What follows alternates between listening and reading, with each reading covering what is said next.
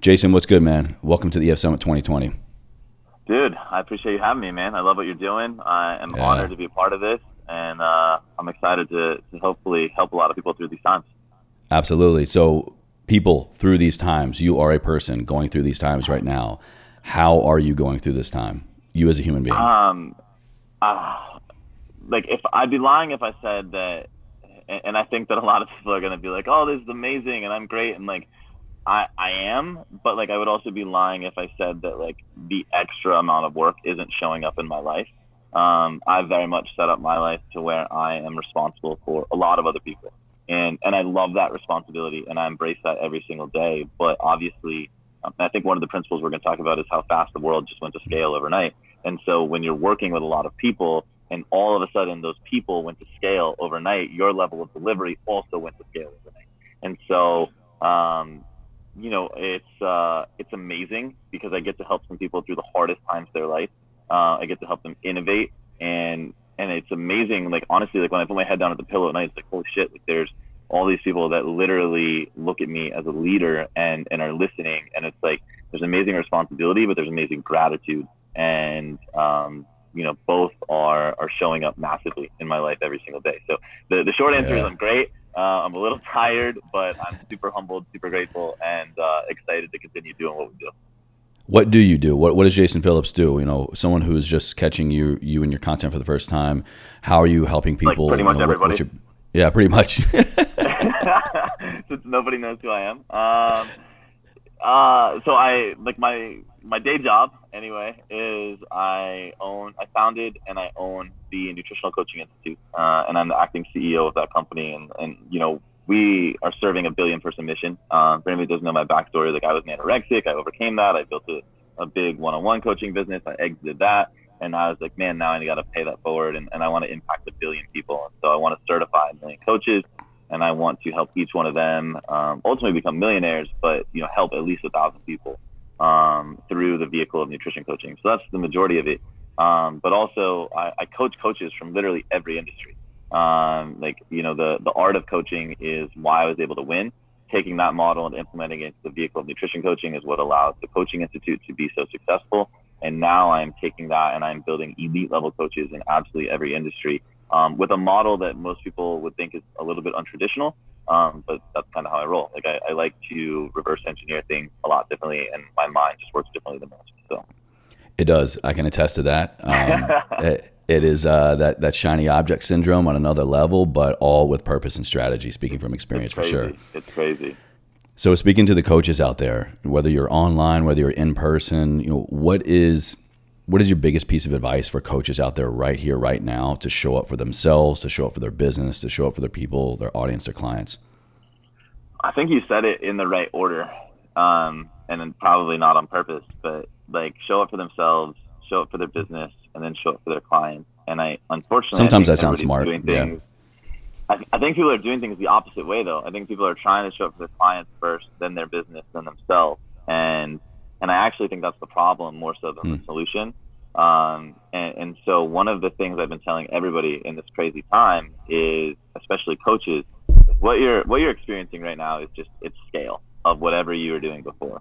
And so there was a lot of people out there that were like coaches or, or business owners, and I'm going to use that term very loosely, um, that were that were chasing clients. They're like, all I need is more clients because more clients is more revenue, and if I have more revenue, I can build my business and if I build my business, I can build myself.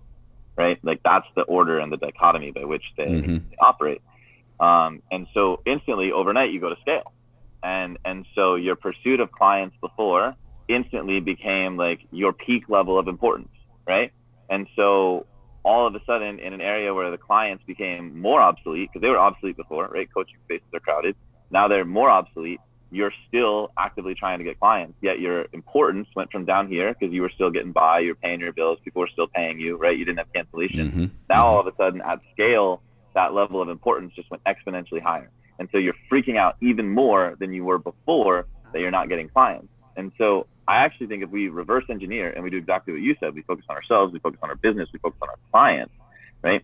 What is it that we even want in the first place? And and obviously like that's that's a very cliche statement, but I think you have to go like ten layers deep. Like not only like what is the impact you want to have, but how do you want to be helping people? Who do you want to be helping? Like, what are you actually best at? Like, if we could all as coaches drop the ego and say like this is what I'm really good at, but more importantly, this is what I suck at, right? And and inside of like this is what I suck at. Hey, here's a handful of other professionals that would be very good at helping you with those things, so that I can live in my scope of genius with you, right?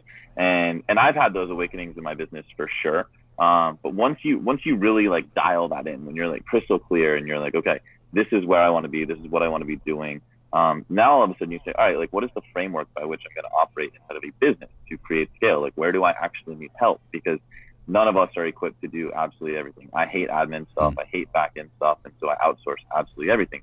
Um, and so then you can put that there. Well, at, only at that point can you actually deliver to a client right? If you're still trying to figure your own shit out, if you're still running around like a chicken with your head cut off and figuring out like like what is my message, what is my framework, like what's my vehicle of delivery, like holy shit, who's paying my bills, who's doing like who's doing my scheduling, like what are my funnels, what are my advertising, like if you're still trying to figure all those things out, like you have not maximized yourself as a person, right? And so therefore, the delivery that you're giving is less than 100% of yourself, not on purpose, right? And no coach does that on purpose. No coach mm-hmm. would ever would ever intentionally under deliver. Um, but I think if they take a step back and they're like, all right, in this time right now, we have a moment to get crystal clear.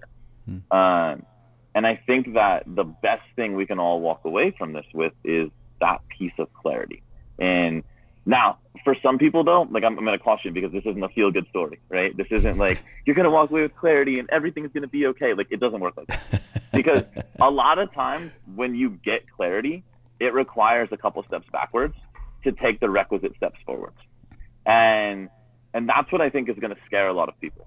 Um, yeah, I agree. Full transparency inside of this time for me, I've realized there's a segment of my business where I'm like, I kind of need to cut the head off, and mm. it generates half a million dollars. Right. Powerful so, realization. To, to, to sit here inside of clarity and be like, I need to walk away from half a million dollars. That's scary. But I also know, like in my head, I'm like, okay, I'm I'm not gonna lie, right? I'm gonna I'm gonna live inside the truth of because that's like number one rule for every coach to tell the fucking truth, right? Sure. And I'm gonna live inside that truth. And inside of like taking those two steps backward, I know I can produce way more than half a million dollars and probably inside of three months. And it's like so that that's a very scary play, but it's congruent with where I want to be in the long term. And I think any coach that can like really go and like look themselves in the mirror and have that clarity, and more important, back that clarity with confidence and conviction to say, this is who I am. These are the skills that I can mm-hmm. bring to the world.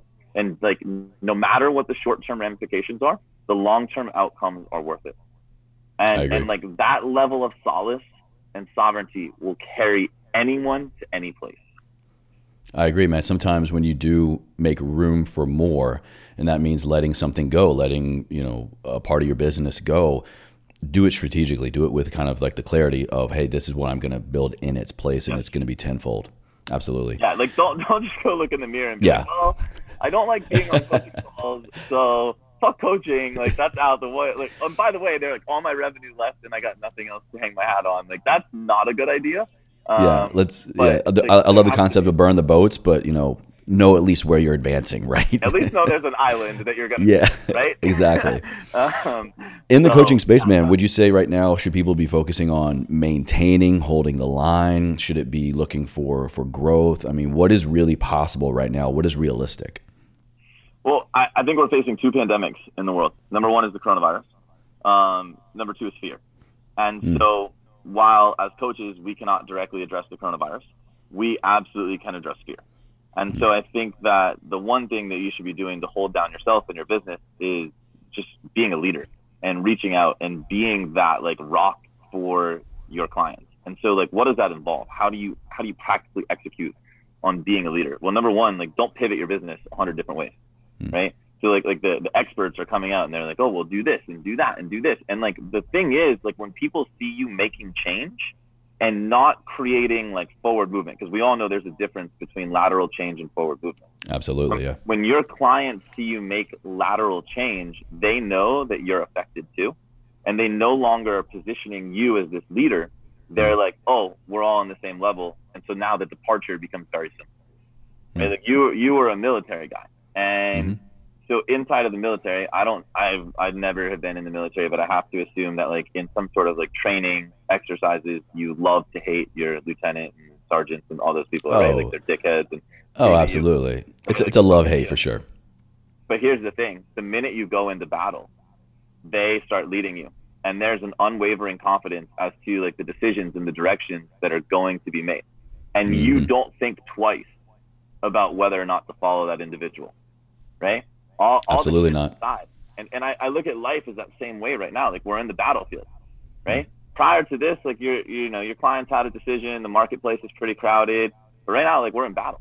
And if you're showing up as that leader that they hired on day one, they're not going anywhere. And so exactly. I think that like the the strongest way to hold the line is be the leader, instill confidence, like, and that all goes back to like self, business, and clients. Create confidence inside of yourself first right?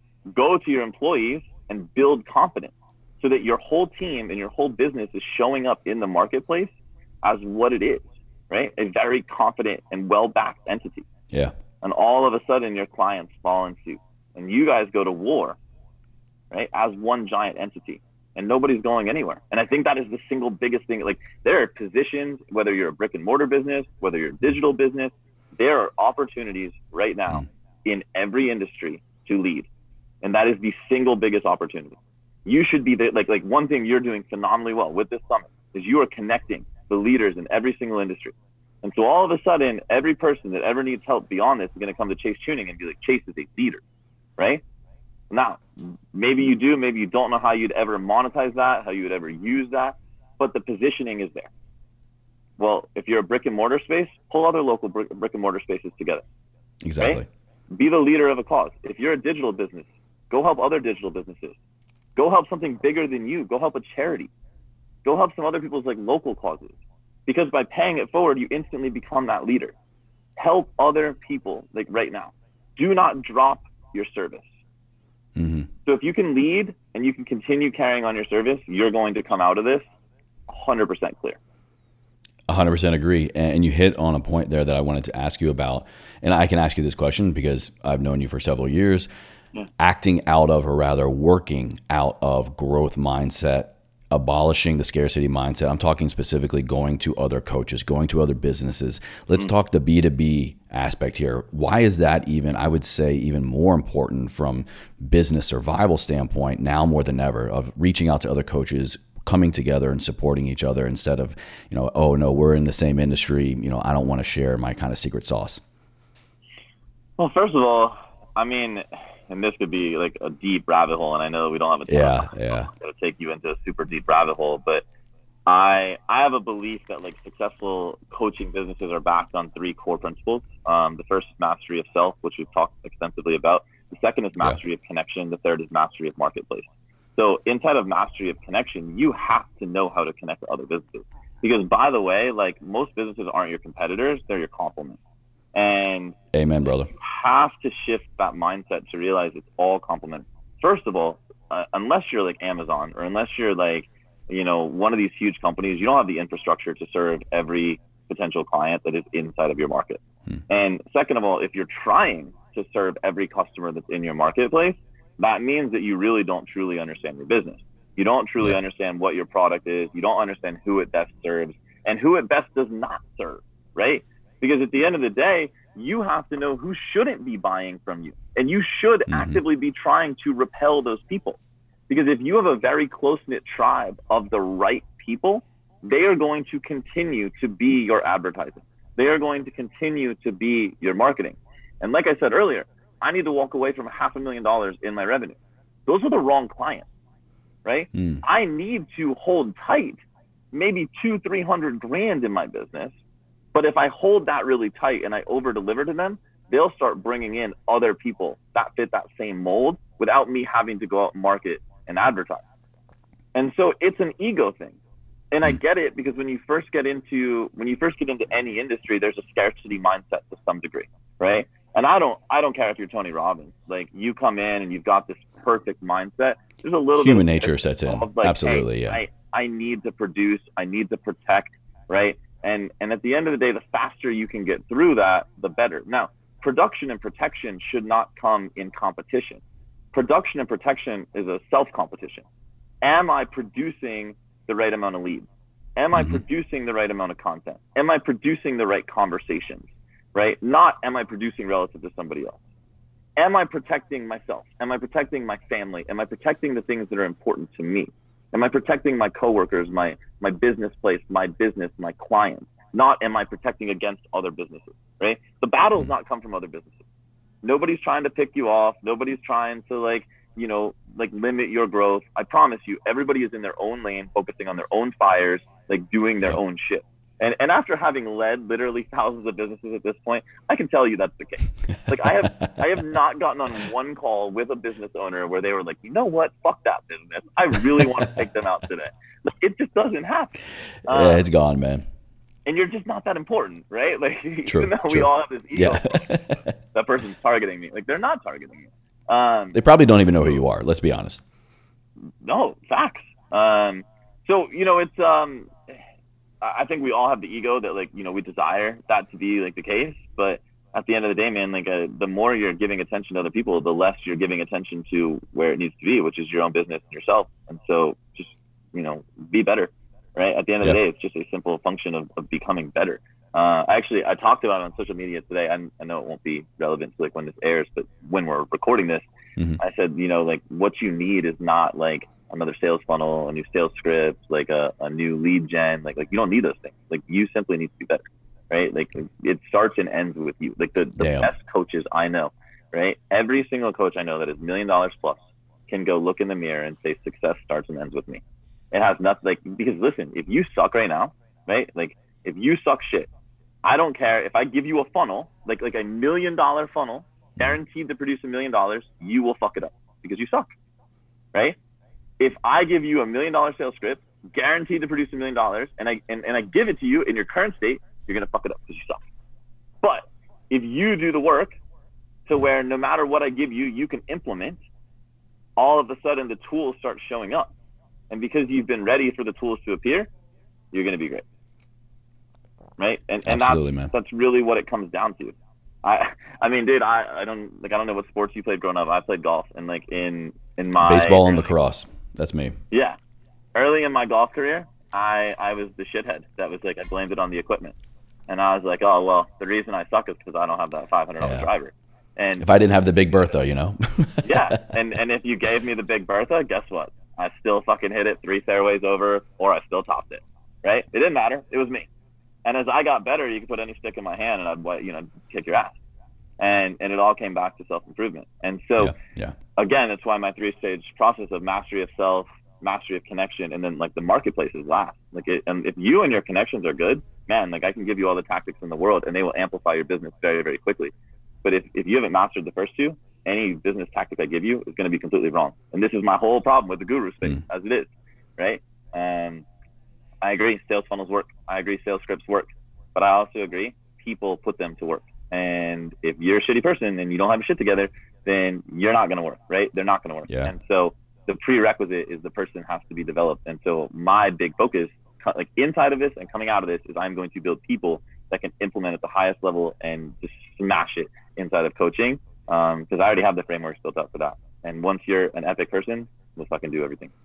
He does. He does have the framework. I can tell you all speaking personally from years of just knowing you as, as a human being, uh, a friend, a colleague, a mentor, you know, and, and a coach. It, it, it, all is the the walk is there, the talk is there, the walk is there. Um, and I'll, I'll end here, Jason, with kind of something you said that I think is very powerful. And success does start and end with us, regardless of the business strategy, regardless of the connection, regardless of a pandemic going on in the world. If we square ourselves away, then everything else after that, I won't say becomes easy, but it becomes easier because we don't have to constantly adapt and change who we are and our business approach to the world we show up the same way. And that takes a daily practice. So success starts and ends with us. Someone wants to start on themselves today. They want to start building success for themselves today and possibly their business. What are they doing right here? What's your biggest hey, hey, leave this webinar, leave this experience and go do this? Go look in the mirror and tell that motherfucker the truth. Hmm. And and understand that likely what you've been telling that motherfucker up until right now is a bunch of lies. right? You've been lying that you're not good yeah. enough the truth is you're not working hard enough. You've been lying that your your connections with other people suck, yet you haven't fostered them, right? You've you've been lying that your business isn't working when reality is you're just searching for more tactics to make it work instead of you making it work. And so, like step one, right now, go look in the mirror and tell that fucking person the truth. And the truth is a scary fucking place, right? It is a scary fucking place. But if you can do it, if you can accept that truth, and you can understand that the way to every ounce of success starts like in this like like we're all starting here in truth. Yeah. Yeah. Right? Like we're all starting at the bottom. And and if you can understand that that is the starting point for each and every human being, and that if you don't start there, at some point you're going to be pulled back there. You might as well go there now and start because you're going to be way ahead of everybody else. I can tell you it is only scary in the beginning. And as your story and as the timeline of your success and you as a human, you as your business grows, you will revisit scary times because your truth and who you are needs to evolve and grow. But I can promise you it's only scary in the beginning. After that, it becomes the most liberating, freeing, unscary thing in the world. So well said, man. Thank you so much. Um, everybody's going to know where to find you, but you know, real quick, you know, again, if they miss it in the beginning, Nutritional Coaching Institute, Jason Phillips, like where are you're hanging out the most online, where can they connect with you more after this?